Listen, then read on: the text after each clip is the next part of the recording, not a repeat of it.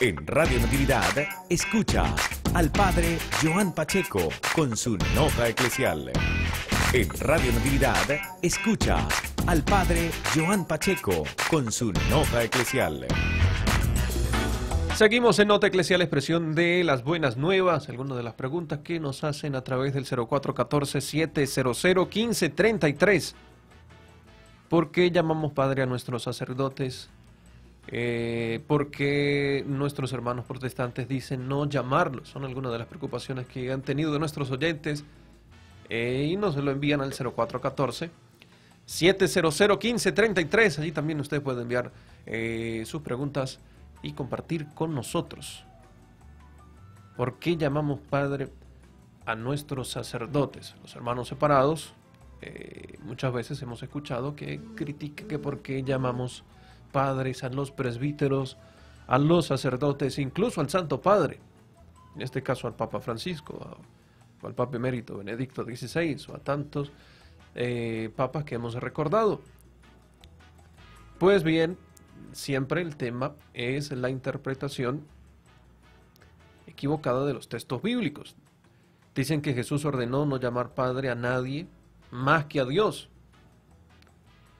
Pero siempre debemos insistir en que la palabra de Dios hay que entenderla en todo su contexto, no tomando solo parte de la escritura, sino también todos los textos que nos ofrece la Sagrada Escritura sobre el tema.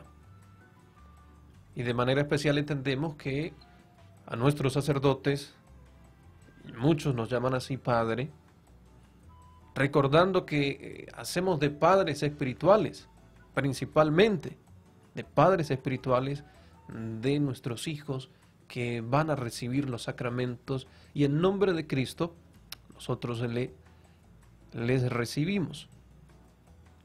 Llamamos padre a nuestros sacerdotes porque son nuestros padres en el sentido espiritual, lo cual va de acuerdo con la Sagrada Escritura. Eh, tenemos algunas referencias, por ejemplo, eh, tantos casos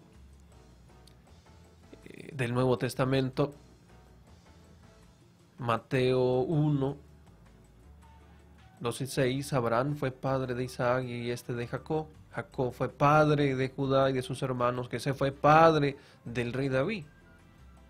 La Sagrada Escritura está utilizando el término.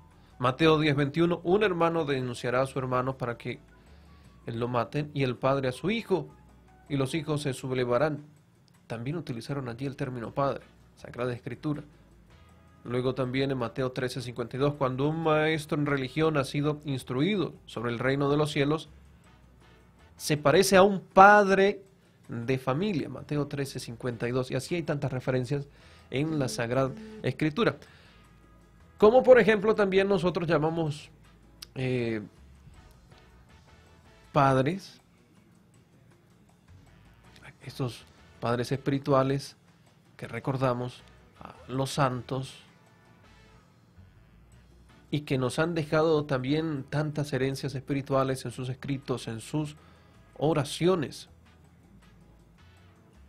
Con respecto a la objeción de nuestros hermanos protestantes separados, ¿cómo es que eh, debemos preguntarnos, ellos también llaman a sus progenitores? ¿No les dicen padre también, padre, papá, mamá? Pues bien, allí está la aclaración, y es siempre el mismo tema, el de la interpretación equivocada de la Sagrada Escritura. Es importante que siempre para la lectura de la palabra de Dios pidamos que nos ilumine con su Santo Espíritu, para que no nos quedemos con un texto extraído a nuestra conveniencia, sino para que, por supuesto, iluminados por el Espíritu de Dios, entendamos el sentido verdadero de lo que nos quiere comunicar. 11-13 minutos amigos de Radio Natividad, recuerden seguirnos en nuestra emisión en vivo a través del canal de YouTube Radio Natividad y en el Facebook también Radio Natividad. Escuchemos música.